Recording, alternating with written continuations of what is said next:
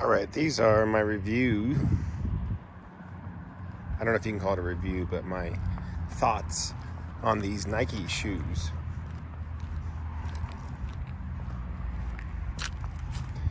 These are, I'm not exactly sure what type of shoes they are, like as far as their intention or the reason they were made. I think they're just um, I mean, I don't know. Shoes that were made for basketball, maybe? Um, I don't, I don't, I don't think so, maybe. I don't know. Here's what they look like there.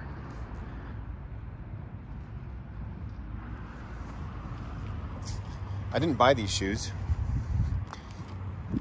These shoes were given to me by a friend who was given these shoes by his cousin. Um, they're a size too big for me, but uh, they're they were free, so I'm trying them out, and I'm recording a video about this. So, um, they have a really high heel. I guess it has a giant pocket of air in the back. So it's a it's a higher heel than than I'm used to. Um, I typically buy Vans uh, shoes. Since high school, I bought Vans uh, because I used to skateboard. Don't anymore but the uh, style kind of stuck, I guess. I enjoy the old school vans and I enjoy, well, now, just any pair of vans that's kind of like on sale.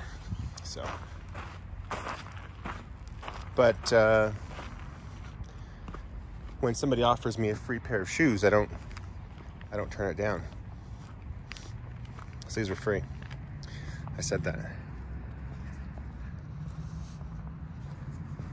I'm not sure the retail price of these things um, if I were to go buy them new.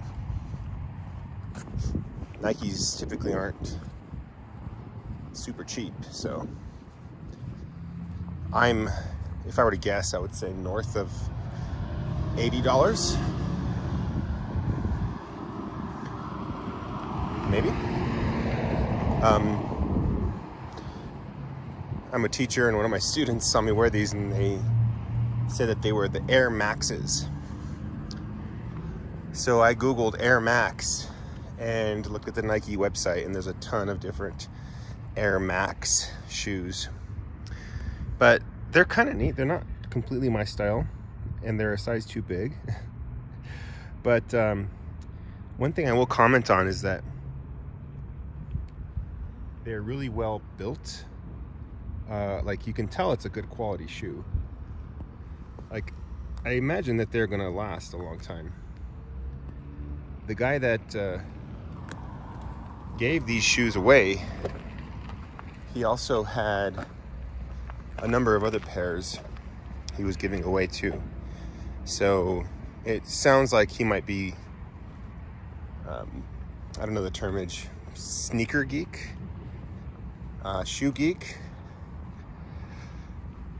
shoe collector, I saw on uh, National Geographic that show hosted by Jeff Goldblum that there's even conventions where people collect shoes. And they'll play they'll pay a lot of money for a pair of sneakers which I can kind of understand like just being interested in things interested in objects having a fascination. I have a fascination with uh, technology, smartphones, um, computers, those sorts of things. So I can get it. Shoes seem a little bit weird though to me because you're gonna wear them and they're gonna wear out. And if you don't wear them, they're just sitting in your closet kind of rotting. decaying. So if you're gonna spend $100, $200, three, four, $500 on a pair of shoes, like get some use out of them. Which I'm doing with these. My utility is maximized because I didn't pay for these. Um, they're not completely comfortable. Right here,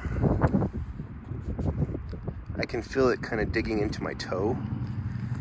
Um, I imagine that because they seem kind of newish, that when I wear them in a bit more, because it's like a kind of a kind of a really hard leather. Maybe I think it's leather.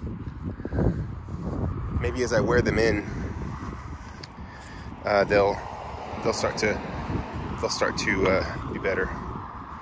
So, anyways, that's my review thoughts of these Nike shoes. They're kind of neat.